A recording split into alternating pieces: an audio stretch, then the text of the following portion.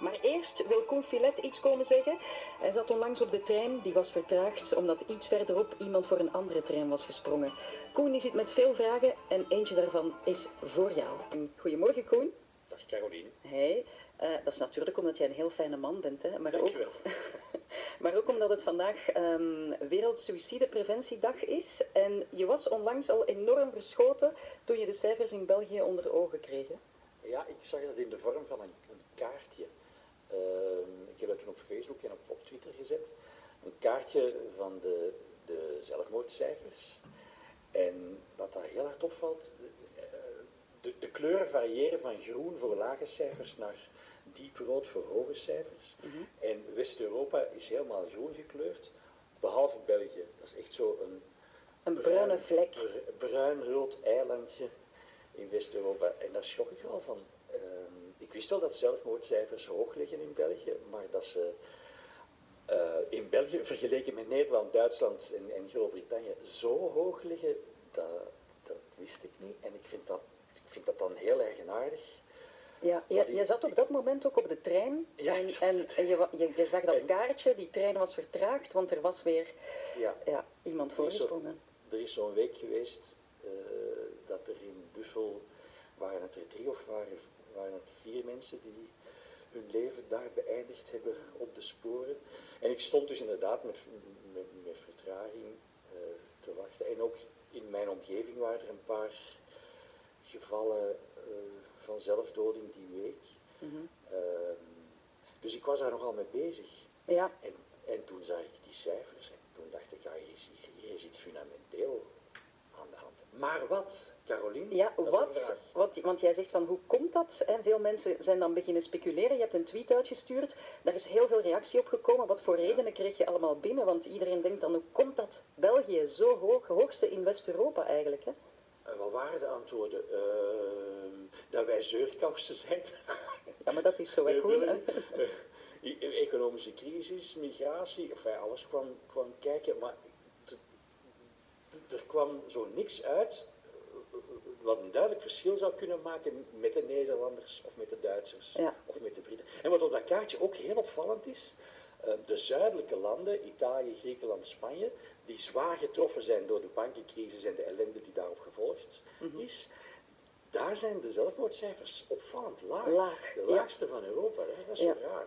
Oké, okay, we kunnen wel beginnen speculeren, maar ik dacht, ik, ik haal er dan meteen iemand bij die er meer over weet. Uh, professor Gwendoline Portski, goedemorgen. Goedemorgen.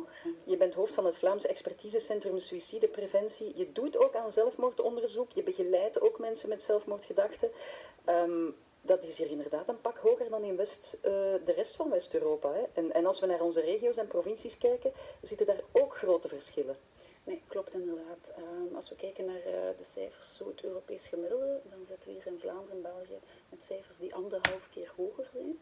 Kijken we op de om het zo oneerbiedig te zeggen, dan staan we op de 25e plaats van de landen met de hoogste suïcidecijfers. Dus en dan denk je, we doen het hier zo goed?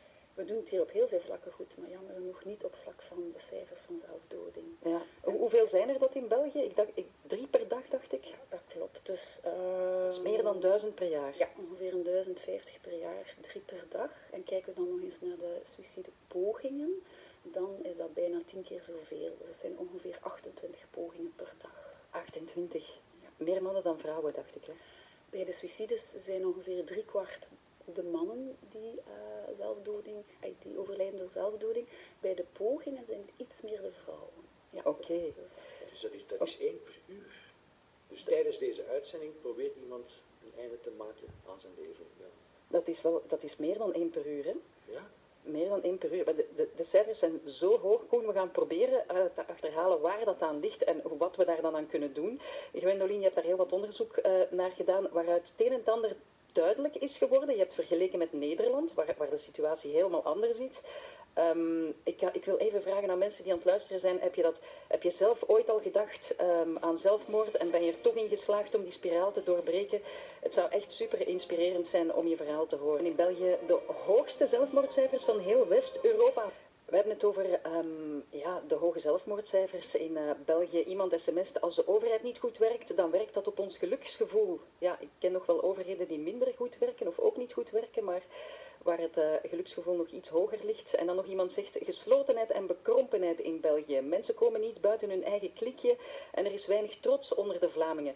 We kunnen hier wel blijven speculeren, maar ik dacht ik ga gewoon eens iemand erbij halen die onderzoek heeft gevoerd, uh, Gwendoline Porski. Uh, in Nederland, hè, want daar hebben jullie naar gekeken, want die zelfmoordcijfers zijn maar half zo hoog. Hoe, ja. hoe, hoe, dat, hoe, hoe, komt dat? Jullie hebben het toch wel wat, wat gevonden. Ja. Maar we hebben eigenlijk um, een vergelijking gemaakt tussen Vlaamse jongeren en Nederlandse jongeren.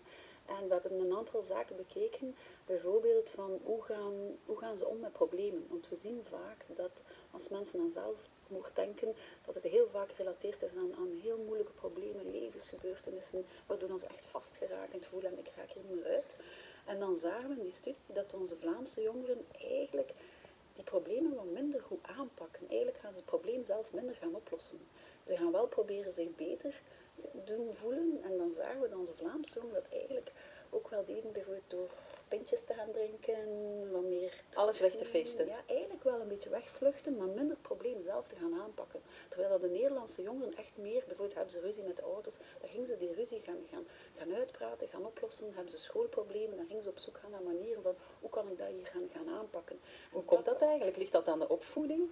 We vrezen dat een beetje inderdaad wat ja, de aard, de Vlaamse aard is. Um, van, we praten er niet over, we, we, we alles in. inderdaad ook gezien naast dat minder goed de problemen oplossen, gaan de Vlaamse jongeren veel minder praten over hun problemen, maar dan vooral met volwassenen. Ja. Ze praten wel met de eigen vrienden, maar niet met de ouders, niet met de leerkrachten, niet met andere volwassenen. En dat is toch belangrijk om, om iemand toe te stappen met levenservaring? Inderdaad, om die stap naar hulp bijvoorbeeld te kunnen zetten. Ja. Want dat is in een andere studie dan gevonden, waarbij dat volwassen Vlamingen en, en Nederlanders werden vergeleken op vlak van als je psychisch moeilijk hebt, ga je dan hulp zoeken of niet.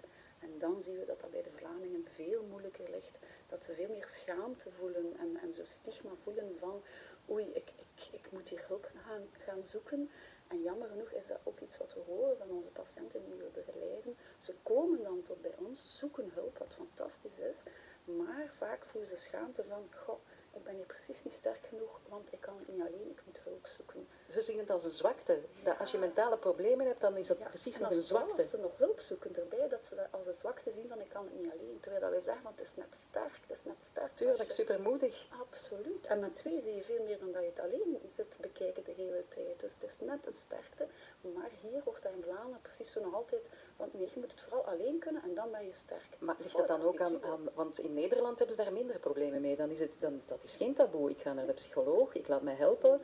Of ik heb, ik heb een probleem, ik spreek het uit tegen mensen. Absoluut. Dat heb je wel. En in Nederland wordt er meer gepraat, over, gewoon gedaan over dingen die niet altijd even Ja. vlot gaan. En gewoon gedaan over emoties, gewoon gedaan over ik voel me minder goed en, en ik zeg dat gewoon. En hier ligt er toch nog altijd, het is al veel verbeterd, maar er is nog heel veel werk.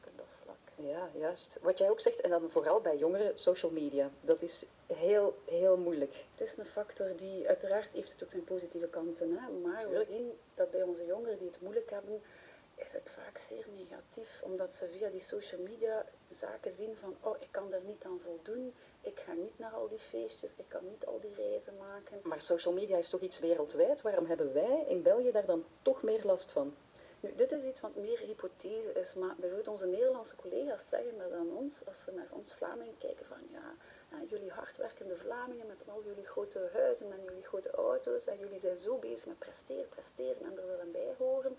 Wat Nederlanders zeggen, van wij hebben dat veel minder. Voor hen is dat van oké, bijvoorbeeld ook, ook Nederlandse artsen, eh, als zij om vijf uur willen stoppen, dan gaan zij stoppen met werken. Hier wordt dat eerder aanzien van oei, ga je nu al naar huis? Eh, precies toch niet hard aan het werken. Hè? Dus Stefan had wel gelijk, we werken te hard, maar we doen het onszelf aan. Ja, ja De druk. grote prestatiedruk. Oké, ja. schaamte, prestatiedruk, eh, weinig weerbaar zijn als, als je jong bent, je durft niks te zeggen tegen je ouders.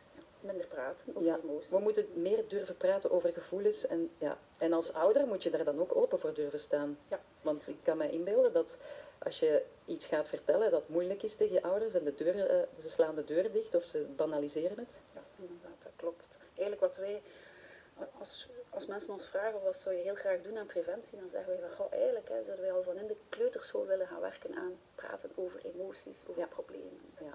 Ik ga even naar Karen. Karen,